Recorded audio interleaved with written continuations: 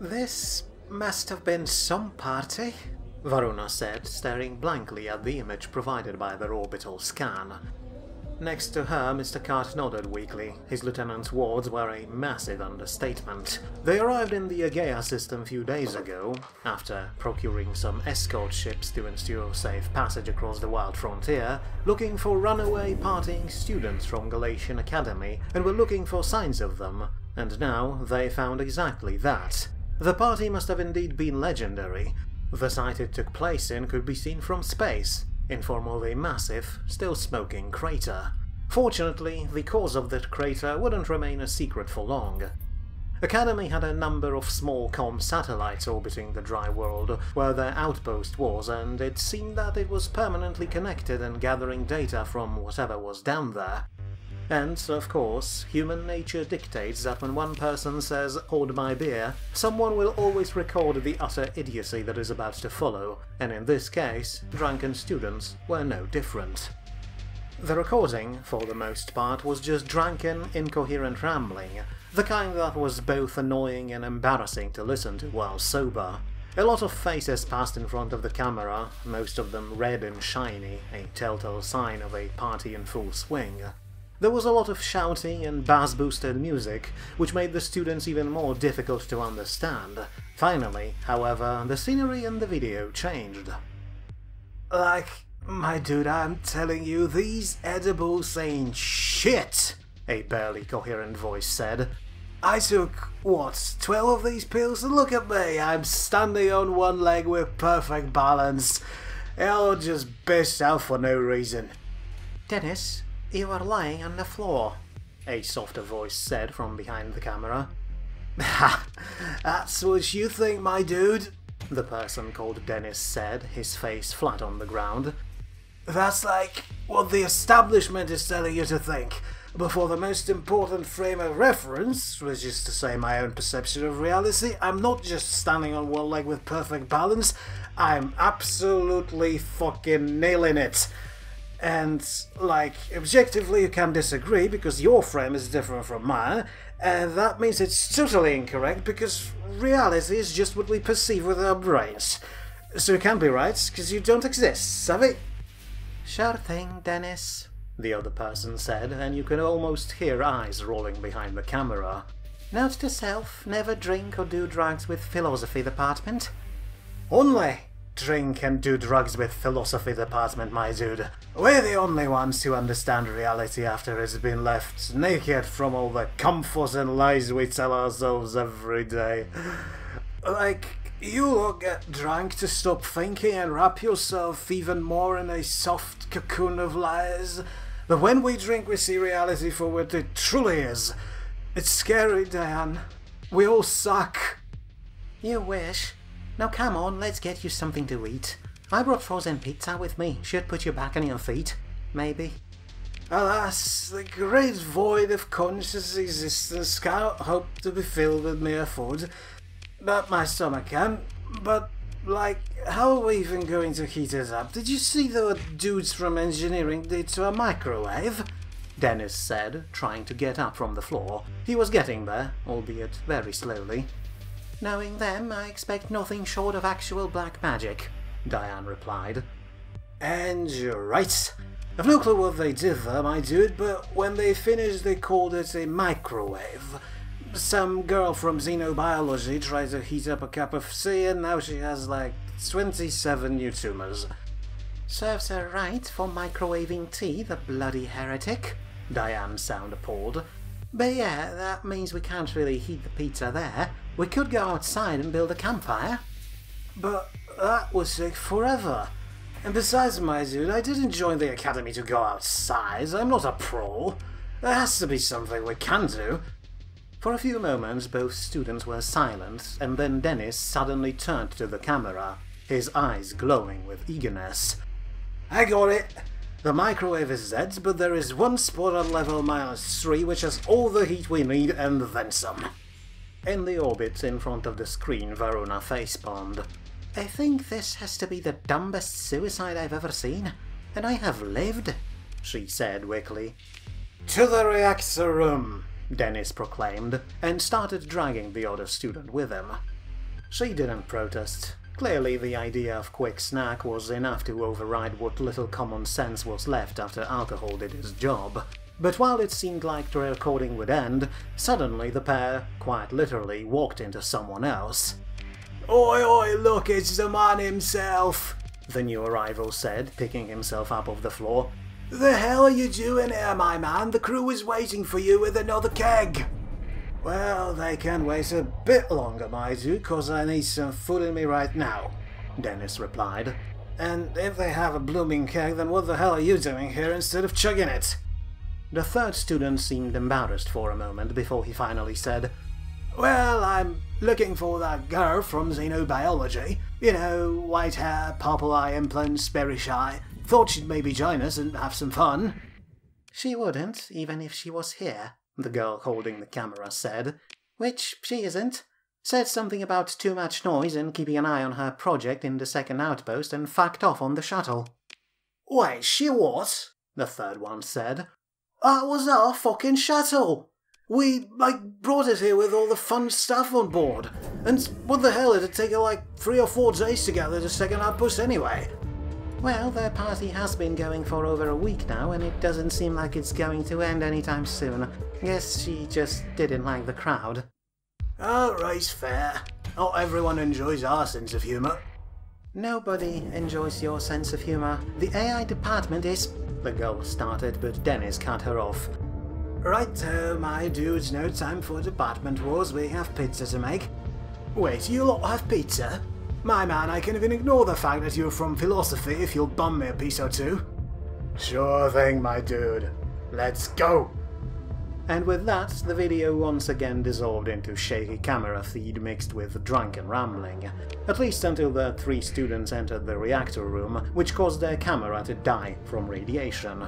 Mr. Cart and Varuna could only assume that they managed to fulfill their objective of getting snacks, the smouldering crater where the outpost used to be was a proof of that. Still, that last part of students' conversation did offer an important clue, namely, that the Academy must have had yet another outpost in the system, and a quick scan showed that, indeed, there clearly was one more energy signature on another planet, an almost barren, dusty rock deeper in the system.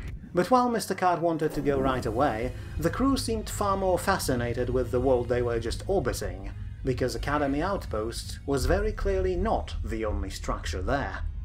So, Captain, are we sending a salvage party down there or are we going to waste this opportunity? House asked, looking on the sensors. He was pointing to a spot on the southern hemisphere, not that far from the research station, where the scanners clearly showed outlines of a city, or, to be more precise, several cities, half buried in the sand. I don't think we have time to waste, Mr. Cart said.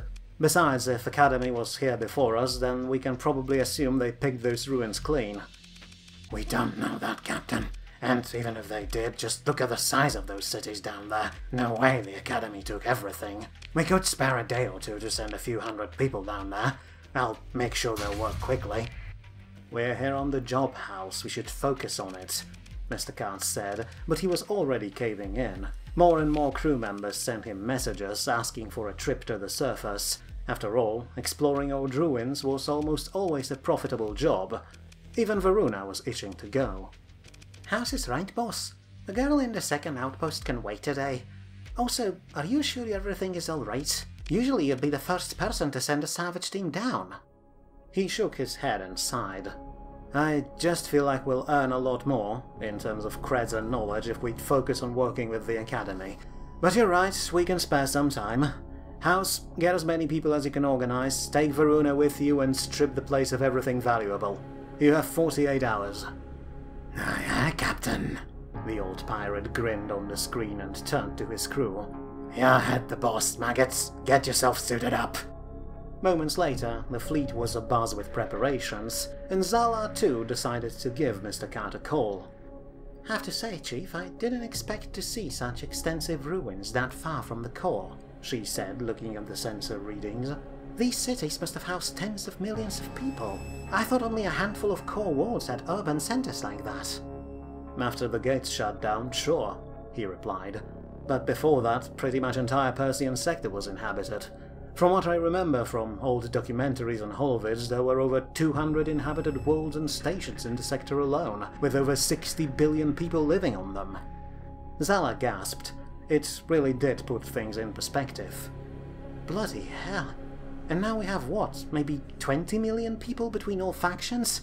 Damn, I'd give everything to see this place back when the gates were still up. So would I, Zala. So would I. And to think, this place is to be a backwater. There were singular solar systems back in the domain, which housed more people than entire Persean sector back in the day. Guess the Prophet was right about something, Zala said solemnly. We really did fall from grace, didn't we? So it looks like. And honestly, with everything that's going on, with hegemony and the rest constantly fighting over scraps, I don't see the situation getting any better. Maybe, but at least we know it can get worse, like it did for those poor bastards down there, Zala said, but they were not meant to continue this conversation, as House's salvage expedition required everyone's attention, especially since it was supposed to be a quick, and so potentially dangerous one.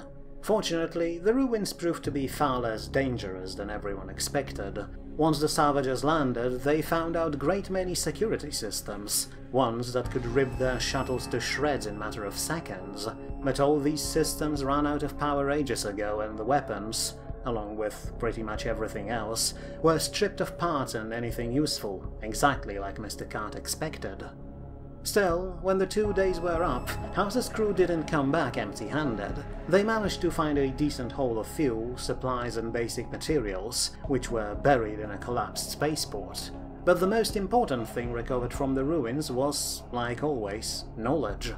When House came back, he brought with him parts and blueprints of advanced starship systems, which some of the fleet techies were already eager to test out in the field, to dismay and terror of their more conservative and reasonable friends.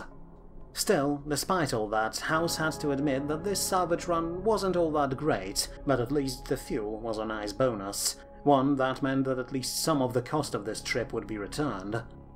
So, as soon as all the materials gathered in the ruined cities were brought on board, Cart Logistics made its way to another planet, one that, they hoped, contained the second Academy outpost, and the object they were asked to retrieve. They arrived in the orbit few days later and immediately spotted the research station on the surface, a large complex of greenhouses and wind turbines sprawled near the equator. There were only a handful of habitations buildings, though, built around the landing pad, and that's where the company turned its sensors and comms first, trying to contact the missing student. But after a good hour of calling, there was no response. I thought maybe this girl didn't actually come here, but the shuttle is on the landing pad, Varuna said, looking at the sensors. Think maybe something happened to her? Only one way to find out, her boss replied. We're going down there, and we'll check. Alright, sure. Let me just grab a way team and we'll... No, Varuna, Mr. Cart said. By we, I mean you and me. If you would be so kind, go prep the shuttle and pick me up at my airlock. He then turned on the com and added, House, grab your salvages and go down there. You can see that there are some old abandoned cities few hundred kilometers south of the Academy outpost. You may be able to find something of value there. We'll check the outpost ourselves. Sure thing, boss, the old pirate replied. If Mr. Cart's decision surprised him, he didn't show it. Here's hoping we'll be more lucky with our findings this time. He disconnected after saying that, but Varuna, unlike House, was not about to stay quiet. Are you... are you sure about this, boss? she asked, a genuine care in her voice. Not that I have anything against you doing actual work from time to time, but it could be dangerous down there. It's just an empty research outpost, Varuna. We'll be fine. I'm not worried about anything down there. Well, maybe except gravity. I am worried about our crew. What if they... well, you know. They won't realize anything. You heard House, he probably thinks it was just a figure of speech on my part. Now please, let me go with you for once. There's probably no one down there, which means we won't get an opportunity like that anytime soon. She sighed and eventually nodded. If that's what you want, boss, then sure. I'll go get the shuttle. Around two hours later, when House and most of the company's crew were already on the surface, a small shuttle, personal property of Varuna herself, quietly touched down on the landing pad in the middle of Academy Outpost. It kicked up a massive cloud of dust, which seemed to be a major feature of this empty world. The doors opened, the ramp lowered, and the lieutenant stepped out, in full combat gear, two assault rifles hanging from her back. She checked the area and called Mr. Cart, still waiting inside. Place is clear, boss. Kind of. It looks like a tornado came through this place. Or a head of rampaging jungle buffalo. The power is on, but I don't pick any defensive systems. Should be safe for you to disembark, but keep in mind the gravity here is a lot more than what you're used to up there.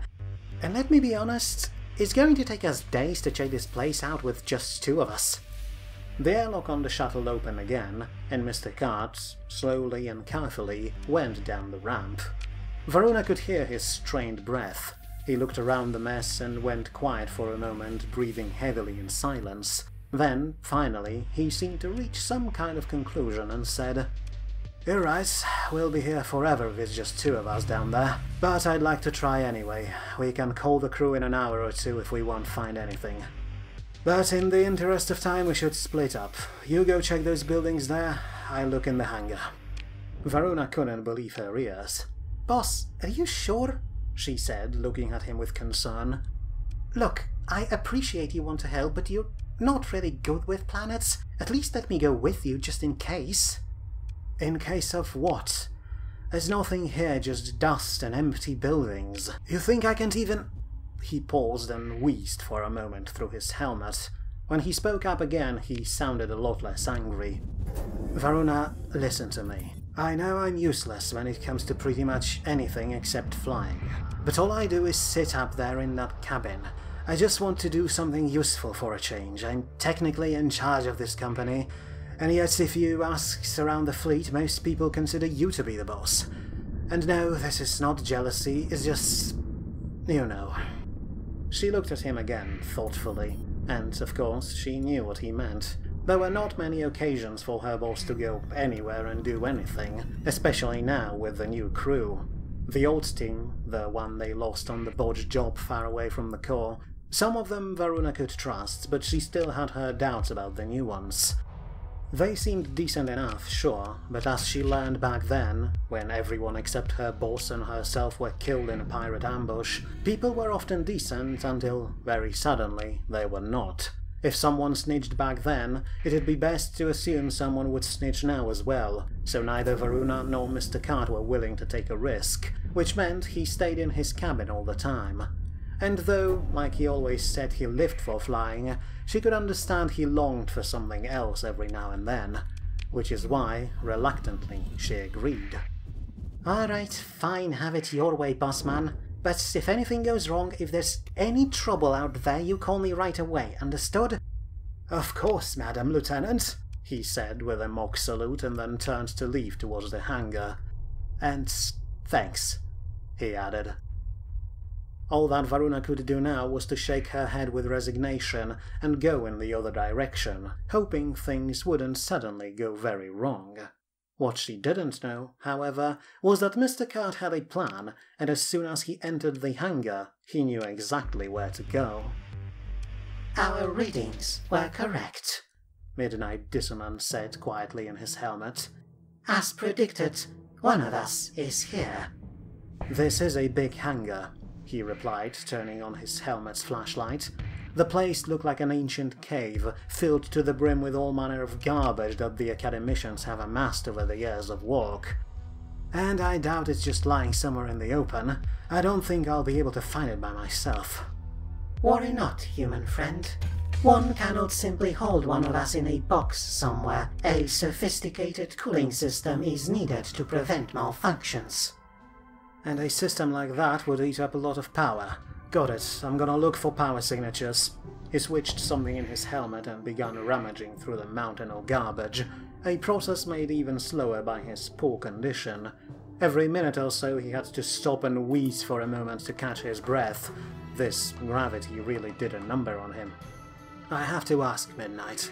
he said a few minutes later while trying to pull a promising looking box from beneath some old farming equipment. What are you even going to do when we find one of you? I do hope we don't have to give away control of another one of our ships. There will be no need for that. One is more than enough. And as for what we will do, first we will rejoice. Then we will learn. Thirdly, we will educate. And then, finally, we will unite. Yeah, right. It would help if you were a bit less cryptic about this whole affair. We will explain in greater detail once time is not such an issue. But we have it. It is here. Not the container you're holding, but the one next to it. The unmarked grey one. Take it. He pulled at the blank grey box with all his strength, groaning with exertion until, finally, it broke free. A bunch of tools and other boxes fell to the floor, but Mr. Cart wasn't looking at them. He fiddled with the lock for a few moments, and finally the box popped open. Blue light from inside reflected itself in his helmet's visor. Damn, I've never seen an Alpha up close, he said, awestruck. In the box in his hands was a blue orb submerged in coolant, the most rare, valuable, and the most illegal thing one could lay their hands on in the sector. Certain people, oh, oh, so many certain people, would be willing to kill thousands for it. But there was no time for awe, because mere seconds later, a com channel from Varuna clicked in Mr. Cart's ear. Boss, please tell me you're fine she said, and he could hear fear in her voice. He closed the grey box and hid it underneath his spacesuit. I'm fine. Anything happen on your end? Yes, I found the student we were looking for, in a way. And I found something else, but I have no clue how to describe it. You should probably take a look at it yourself. Understood, I'm coming to you now. No, wait. I'll go get you from the hangar and we'll go together. There is a problem. It was rare for Varuna to sound so serious, so Mr. Cart did exactly as she asked, and followed her to one of the laboratories on the other side of the landing pad. Inside, the place looked like a bomb went off. Almost everything was smashed and thrown all over the place. And, in the middle of all this chaos, was the missing student, or what was left of her, which admittedly wasn't much. A few body parts and blood splatters scattered all over the room. Mr. Cart was briefly shocked when he saw that. After all, he never had much contact with people when they were alive, let alone smeared all over the floor. But his shock was quickly focused on something else, a main feature of the room, to which Varuna pointed with utter disgust on her face. I'm not sure this belongs to the IT department, she said, but I don't think we should just leave it here. In fact, I think we should take it with us and then ask those Galatian bastards a few questions. Her voice was dripping with venom, and Mr. Cart understood why. For, in the middle of the room stood a massive glass tank, filled to the brim with reddish liquid, and inside of it was... something. None of them had words to describe the bizarre shape inside, but they could easily see one important feature. Eyes eyes which stared at them intently from the moment they entered the room. I think this may be what they sent us here for, Mr. Cart said, trying, and failing, to stop staring into these eyes. I don't think anyone can operate this... whatever the fuck this is, without some advanced programming involved. Probably. Or they were lying. Telling contractors to go grab something for IT does sound better than go grab a machine that makes horrors beyond human comprehension. I thought you'd be sympathetic towards this creature inside. I want to, trust me, but I'm also a bit suspicious given all this mess around the place, and the corpse. I told you there was a problem, remember? Look there. She pointed to another part of the lab where there was identical glass tank. Only difference was that this one was broken, and whatever was inside was nowhere to be seen. Ah, I see, Mr. Cart said, his hands shaking a little. Yes, it's probably best for us to not hang around then. How about we go back to the shuttle and call House and his salvagers from there? We could tell them to bring guns. Lots of guns. All of the guns. That would be best, boss. Let's go. Few minutes later, salvage team received a rather nervous call from their boss, asking for them to redirect a few dozen men and a bunch of heavy equipment to his location to recover something of important value. They didn't mind, it was their job after all, but they were still surprised that their aloof CEO was actually there on the planet with them. And they were not the only ones surprised. Back in the orbit, Zala received a mysterious call from Dr. Disco, who urgently invited her to his office. When she arrived, he locked the door behind her. Apologies for secrecy, miss, but I believe we have a situation that needs resolving, he said, without even giving her a chance to say hello. And it would be best if important officers of the fleet, ones like you and Captain House, were on board with the plan. All right, Zala said, taking a step back. The doctor wasn't a good conversationalist on the best of days, but now he seemed completely manic. I can call House right now if you want. Wait, not yet. First I have to ask, can you keep a secret? Do you think he can keep a secret? Probably, yes. At least as long as it's not anything life-threatening. What the hell is happening here, Doc? I may have done something to slightly undermine the company we work for, Disco said, but he didn't sound embarrassed about it. When I heard that Mr. Cart was going to the surface with Lieutenant Europa, I snuck into the docking bay and planted a little spy camera on her personal shuttle. On the outside, of course. I wanted to see the man in other circumstances than as a helmeted face on the screen. I'm sure you were curious as well. Of course, but not to the point of spying on our chief, damn it! Zala started walking back to the door. And I'm not sure what's worse here. The fact that you have spy cams, or the fact that you are technically violating Mr. Cart's confidentiality? He's not technically my patient. Unlike the rest of the fleet, he seems to be taking care of his health by himself. He is still our boss. Damn it, I hope they won't notice this camera. You could get us all fired. Do you have any idea how difficult it is to find a decent job like this one? I'm afraid I lack your experience on this matter, miss. But as I said, it was nothing but curiosity at first, but now, well, the situation kind of changed. Do take a look. He showed her the screen. On it, the camera recorded Shuttle's descent all the way to the surface of the planet below. Once it was down on the landing pad, the airlock opened and a ramp rolled down. Seconds later, Varuna walked out in her full combat gear. She checked the area and signaled to her boss to come out, but what came outside was not what Zala was expecting. Instead of a man in full spacesuit, a small round drone flew out of the airlock, the same kind of drone Mr. Cart was using to do things outside of his cabin. She expected that the man would follow it, but no such thing happened.